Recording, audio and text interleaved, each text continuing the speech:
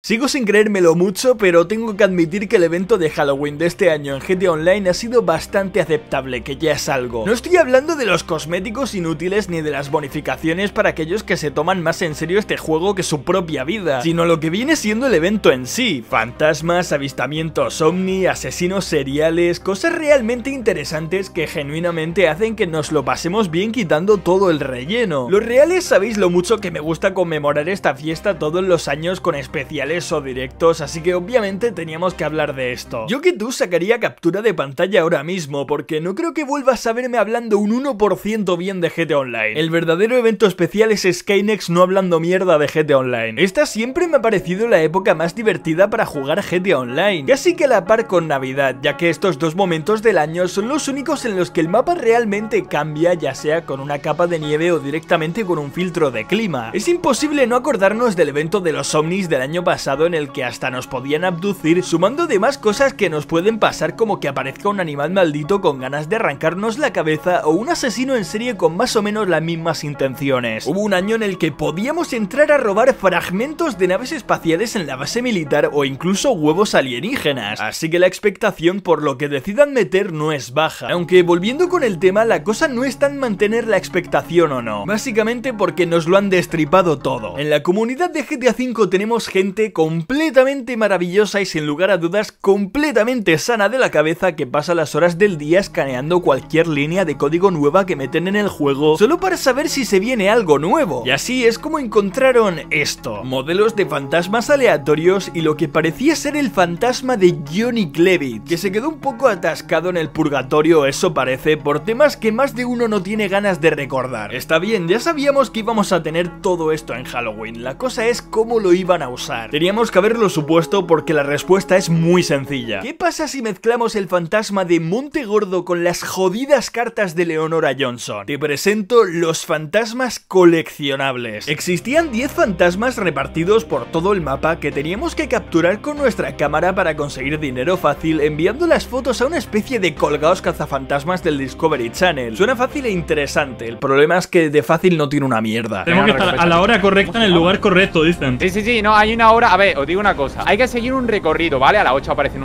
fantasma, a las 9 desaparece, aparece en otro lado. Ya, pero ¿dónde aparece? Hay ubicaciones que están muy lejos una de otra y no vamos a llegar. Los cabrones las arreglaron para que no pudiéramos completar todo el reto en una sola noche y tuviéramos que echarle horas al juego. Sabían lo que hacían cuando decidieron que los fantasmas solo saldrían durante una hora en la noche y tuvieras que fotografiarlos todos yendo de un punto a otro del mapa antes de que saliera el sol. Pero no pasa nada, aceptamos el reto. Agarré el avión más pequeño pequeño y maniobrable posible que tuviera cuantas más plazas mejor y nos pusimos a ello. ¿Dónde tenemos que ir? ¿Al marcador? ¿A quién sigo? ¿A quién sigo? Ahí, ahí, ahí, ahí, ahí, ahí. Establo, establo, establo. Ah, es verdad, que ¿Verdad? Míralo, mira, ya lo veo, ya lo veo. ¡Fantasma! ¿Estamos fodidos o qué? Ya lo veis, yo no lo veo. Ah, es verdad, Sí lo es verdad, es verdad, es verdad. Ya, qué mal rollo, tío. Ah, le viene fantasma. qué mal rollo. Voy a por el coche. Vale, vale, no, el siguiente, el siguiente, que son las 9. Corre al avión, al avión. Bajen, bajen, bajen, bajen. Corre, corre. Fantasma. Hostia.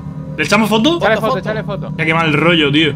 Siguiente, siguiente. No llegamos, eh. Voy a arrancar, voy a arrancar. Repetimos todo este proceso una y otra vez dentro de lo humanamente posible, pero obviamente llegó el momento en el que aparecieron los contratiempos y comenzamos a ver cada vez más lejos el hecho de completarlo todo en una sola noche. Nada más que el vehículo que estés usando se rompa y que tengas que cambiarlo, acabas de perder valiosos segundos. Todo era ansiedad y prisa, y no lo voy a poner en el vídeo, pero más de la mitad del tiempo se resume en Kirsty y yo discutiendo como enfermos mentales porque no nos entendíamos una mierda a la hora de describir sitios. Este tío con un bate que sigue a alguien y se escuchan risas, ¿qué pasa? ¿Cómo? Hay un, hay un asesinillo. Hay una ¿Verdad? que, si- que sigue a alguien, tío. Pero ayuda, ayuda. Corre, Kainen, que me persigue un asesinillo. Puede parecer una coña, pero literal fue uno de los dos únicos asesinos seriales del juego que nos persiguieron en todo el día. Nuestra increíble hazaña continuaba, pero como no podía ser de otra manera, acabó saliendo el sol, obligándonos a tener que esperar durante otro día más de GTA Online. Para hacer más amena la espera, se nos ocurrieron algunas ideas, como por ejemplo echar algún que otro último equipo en pie tematizado de Halloween, que la verdad ayudó bastante porque se nos pasó el tiempo súper rápido, así que volvimos a ponernos con el tema y fotografiar el resto de los fantasmas que nos quedaban en el mapa. Cuando conseguimos recopilarlos todos volvió a salir el sol, lo que significaba que como buenos desempleados teníamos que volver a pasar media hora de nuestro tiempo esperando en este juego, ya que el fantasma final, el de Johnny Klevich, aparecía alrededor de la medianoche. Así que decidimos gastarlo en algo un poco menos convencional pero bastante más educativo en mi opinión. Educativo hasta el punto de que la media hora se sintió como 10 minutos, qué cojones. Luego al caer la noche nos dirigimos todos al lugar donde murió Johnny para esperar a ver si aparecía. Llegamos con bastante tiempo y no había nada, pero después de un rato nuestra paciencia se vio recompensada. Va a aparecer en 3, 2, 1. 1. Uno y medio. Uno. Uno y medio. Pues está muy bien, ¿no? El fantasma de Johnny. ¡Ah! Se escucha un audio. Tío.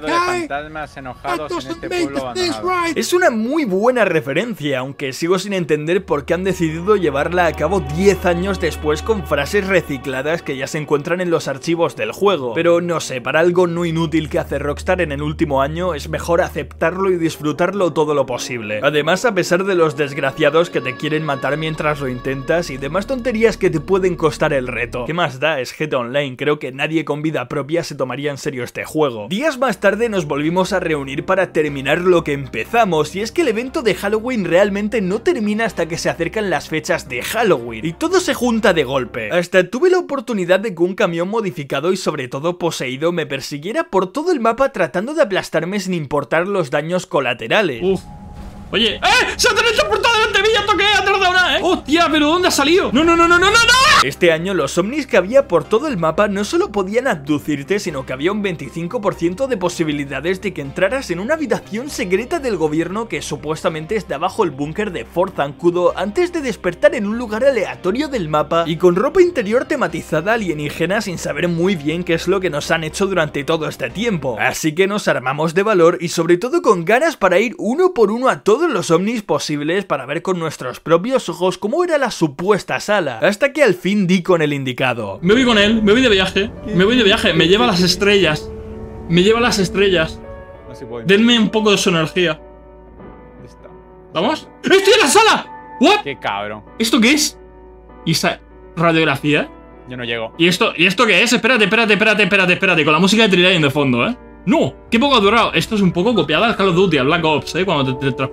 Se me hace algo decepcionante saber que realmente existe un enorme interior modelado bajo el búnker lleno de misterios y detalles al que solo pueden acceder los afortunados que usan hacks, ya que de normal lo único que podremos hacer es tener esta perspectiva en primera persona como si estuvieran experimentando con nosotros en una sala secreta del gobierno. Segundos después es cuando la pantalla se aclara y aparecemos en un sitio casi aleatorio del mapa. La única esperanza que me deja el hecho de que haya más salas inaccesibles de manera normal es que en algún futuro lo acabarán usando todo y solo tenemos que esperar, aunque personalmente me gustaría estar esperando por GTA 6 en vez de por un búnker de mierda. El evento de Halloween es uno de los pocos, por no decir el único, que hace que valga la pena pasar la semana jugando a GTA Online. Y a falta de que se dignen a decirnos absolutamente nada de GTA 6, pues cualquier agujero es trinchera, ¿qué queréis que os diga? Realmente espero que el evento del año que viene ya sea en un juego distinto a este, pero viendo cómo van las cosas y lo mucho que no tengo muchas esperanzas de que eso ocurra. ¿Has jugado durante el evento de este año o eres tan fiel al modo historia que no tocarías GTA Online ni con un palo? Me gustaría saber tu opinión en los comentarios. Agrégame a tus redes sociales para estar en contacto. No te olvides de dejar tu like y de suscribirte porque nos vemos muy pronto en el próximo vídeo.